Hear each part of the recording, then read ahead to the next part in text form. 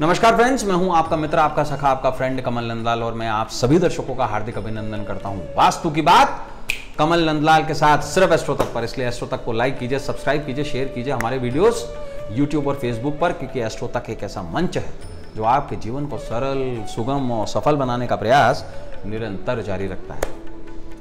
तो चलिए अब खास टॉपिक पर आते हैं। दुनिया का सबसे खूबसूरत चित्र कहीं कर ना दे, आपके जीवन को बर्बाद।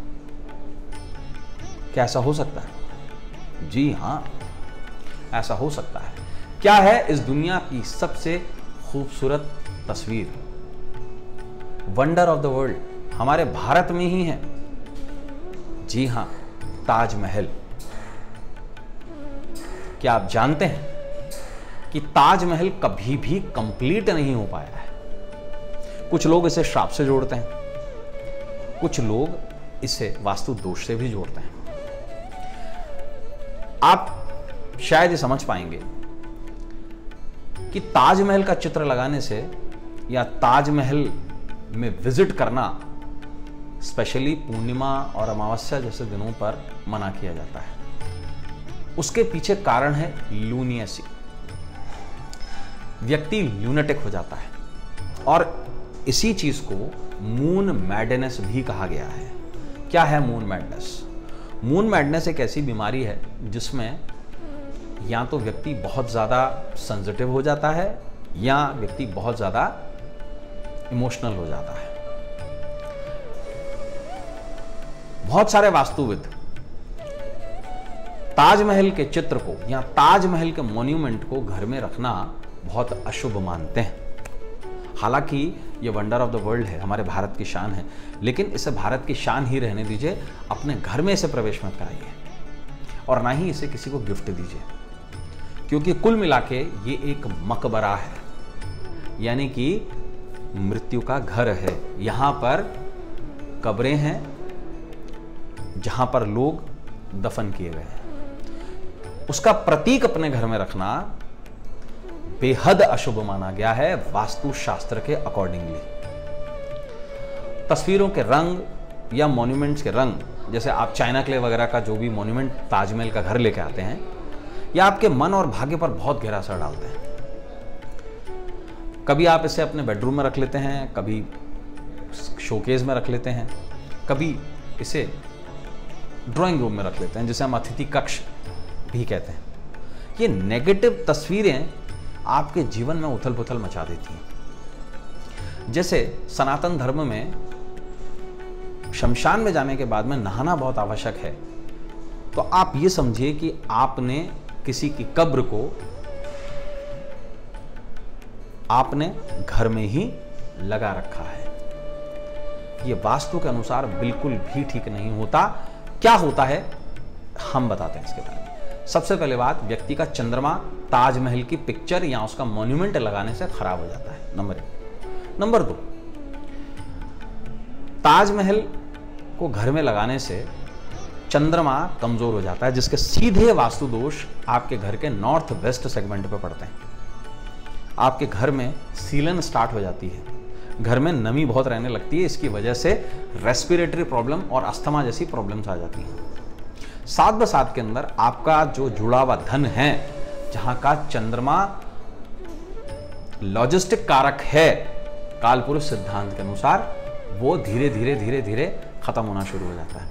सात ब सात के अंदर एक और प्रॉब्लम होने लगती है, वो होती है लूनियस यानी कि आपको साइकोलॉजिकल इश्यूज़ आने शुरू हो जाते हैं।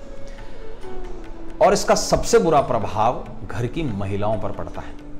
जिन घरों में भी अगर ताजमहल के चित्र या उसके मोन्यूमेंट रखे गए हैं, या उसके मिनिएचर्स रखे गए हैं, वहाँ पर जो स्त्री वर्ग है, चाहे वो बेटी है, चाहे बहन है, चाहे वाइफ है किसी की, उनको साइकोलॉजिकल इश्यूज़ आना शुरू हो जाते हैं। साइमल्टेनियसली उनका मासिक धर्म का चक्र जो है, वो बिगड़ना शुरू हो जाता है।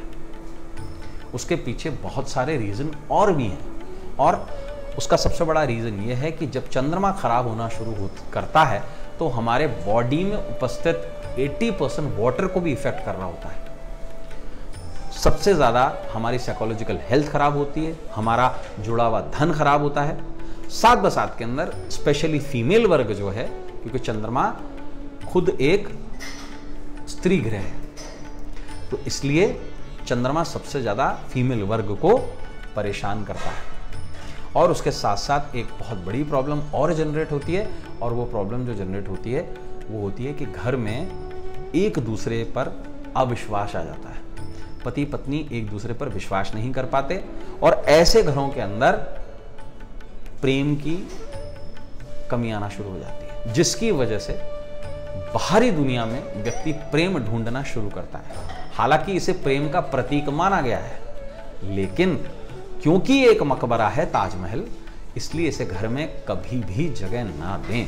अगर आपके घर में ताजमहल की कोई पिक्चर रखी हुई है तो उसे आप हटा दें या उसे स्टोर रूम में आप छुपा के रखते हैं अगर आपने बहुत खूबसूरत सा ताजमहल का मोन्यूमेंट बहुत महँगा ताजमहल का मोन्यूमेंट खरीदा हुआ है तो सबसे बड़ी प्रॉब्लम जो जनरेट होगी, वो आपके रिश्तों में जनरेट हो जाएगी, आपकी साइकोलॉजिकल हेल्थ में जनरेट हो जाएगी।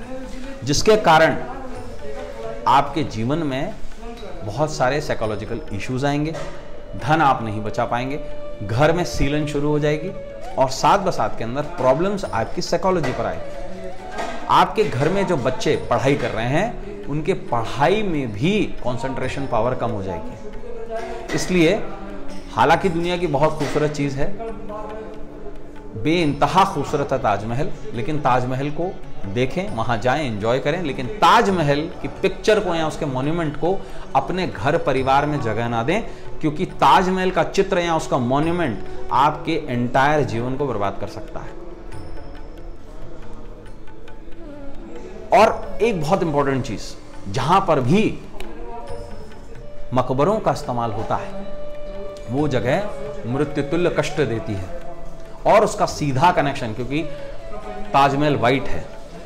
संगमरमर से बना है। तो ऐसे केस के अंदर चंद्रमा मृत्युतुल्य कष्ट देता है क्योंकि उसका संबंध जो है वो आठवें भाव से क्रिएट हो जाता है। यानी कि मंगल से को रिलेशनशिप हो जाता है। कालपुरुष सिद्धांत के अनुसार चंद्रमा चौथे भाव का स्वामी है। आठवें भाव के स्वामी से जब वो संबंध बनाता है, तब मृत्युतुल्य कष्ट देता है।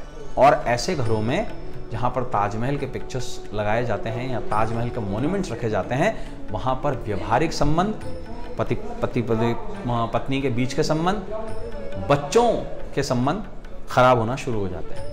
तो इसलिए ताजमहल के चित्र को कदापि अपने घर में जगह ना दें। तो फ्रेंड्स हम और नए टॉपिक और रोचक टॉपिक आपके लिए लाते रहेंगे। आज के लिए बस इतना ही। कल आपसे फिर मुलाकात होगी वास्तु की बात, कमल नंदलाल के साथ में। तब तक देखते रहें एस्ट्रो तक और अपने मित्र, अपने सखा, अपने फ्रेंड कमल नंदलाल को इजाज़त दीजिए। नमस्कार।